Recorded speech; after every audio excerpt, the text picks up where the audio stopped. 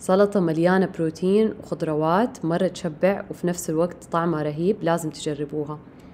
أول شي حنظف البطاطس مرة كويس بالفرشة بهذه الطريقة.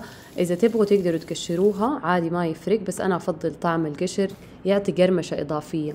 وحقطع البطاطس مكعبات وأباهرها بملح وفلفل أسود وأدخلها الفرن إلى ما تستوي.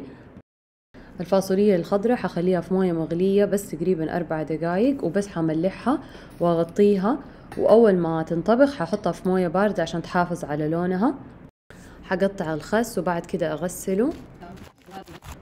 كمان قررت إنه أضيف شوية ريحان وطماطم كرزية بما إنه عندي نباتات موجودة فقلت أستفيد منها. حطيت البيض في موية مغلية قرأت إنه مهم لما تيجوا تحطوا البيضة تكون الموية بتغلي. هذه الحركة تساعد إنه البيض يتقشر بشكل أسرع. وأنا خليته تقريبا عشر دقايق. بالنسبة لي كان كفاية يعني ما أبغى الصفار يكون بزيادة سائل بس لو تحبوه سائل خلوه مدة أقل. استخدمت هذه الأداة اللي عندي عشان أقطع الخيار وأخليه قطع مرة رفيعة بس طبعا مو ضروري ومو ضروري إضافة الخيار يكفي الخس أو أي ورقيات تانية عندكم.